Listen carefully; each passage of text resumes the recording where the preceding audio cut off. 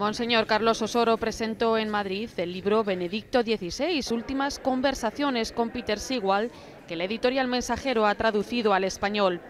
En palabras del arzobispo de Madrid, la obra es la mejor presentación de quién es Benedicto XVI y al mismo tiempo un aval claro del pontificado del Papa Francisco. Yo creo que es imposible entender el pontificado de Juan Pablo II sin Benedicto XVI y tampoco entender el pontificado del Papa Francisco si no contamos con Benedicto XVI.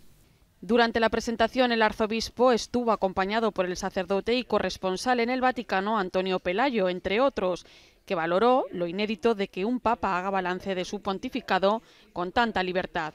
Además destacó la buena relación que existe entre Benedicto XVI y el Papa Francisco. A la vista de todos está que Ratzinger, que entre Ratzinger y Bergoglio fluye una corriente de mutua simpatía, de afecto fraternal, paternal del uno, de un inmenso respeto del uno por el otro y de una complementariedad que respeta el papel que cada uno desempeña en la hora actual de la Iglesia.